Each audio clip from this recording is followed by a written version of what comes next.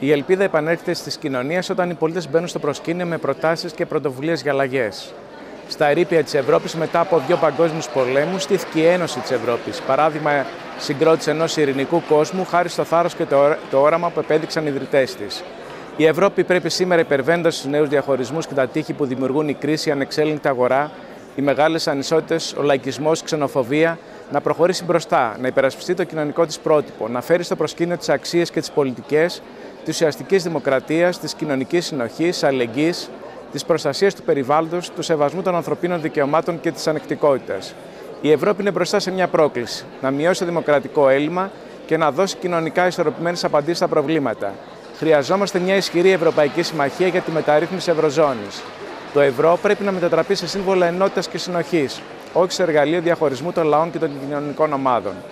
Η αντιμετώπιση των δημοσιονομικών προβλημάτων πρέπει να στηριχθεί σε κοινωνικά δίκαια μέτρα και σε μια γενναία πολιτική μεταρρύθμιση οικονομίας προς πράσινη κατεύθυνση, ενδυνάμωση κοινωνικής συνοχής και δημιουργίας εκατομμυρίων θέσεων εργασίας, ιδιαίτερα για τους νέους.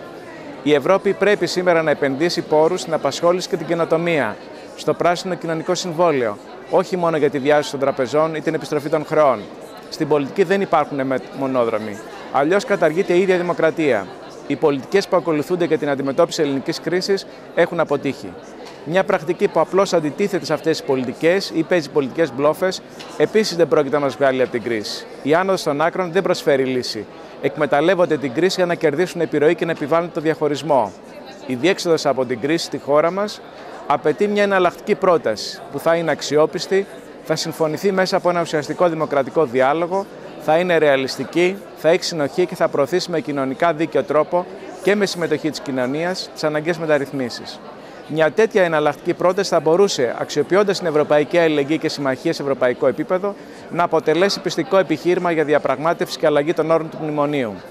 Παράλληλα με τις αναγκαίες αλλαγές σε οικονομικό, κοινωνικό, περιβαλλοντικό και δημοσιονομικό επίπεδο, χρειάζεται να γίνει μια πιο ουσιαστική και συμμετοχική η δημοκρατική μας λειτουργία. Και η πολιτική επίσης. Προς όφελος πλειοψηφίας των πολιτών, το 99%.